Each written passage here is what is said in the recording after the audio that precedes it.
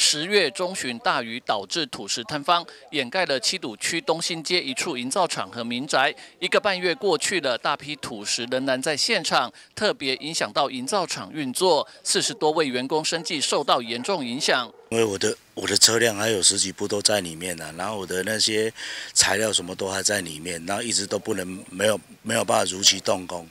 哎，然后只能想那个。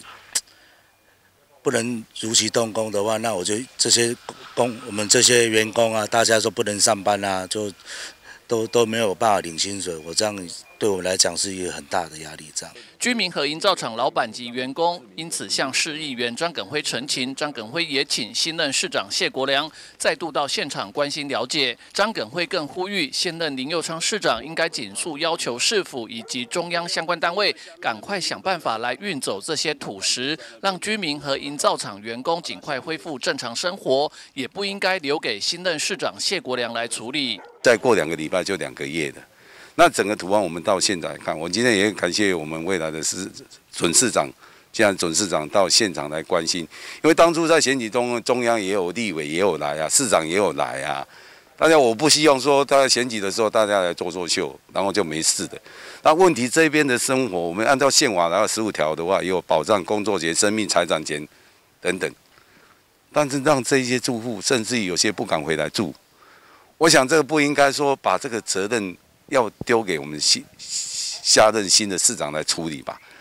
那我也是要呼吁我们林市长的话，你在卸任完完成之前要做个 N D，把这个该处理掉的那些清除呃污泥的话，赶快让这些附近的住户有个正常的生活。那看来这个地方目前的情况还是没有完全的改善，所以当然我们也是希望政府到底。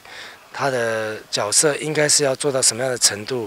哦，啊，这个到底是中央跟地方管辖，或者说这种灾害准备是不是有预备金等等？我也希望说，一方面是希望市府能够帮忙这些民众尽快能够解决这个困难。对，那我当然，如果等我下个月有机会上任以后，我也来看看如何能够有效的来帮助到他们。那今天就是先跟张议员过来看一看，因为我们在灾害发生的第一时间，我们其实有过来过了。对对对。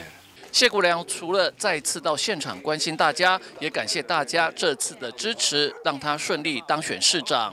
记者吴俊松基隆报道。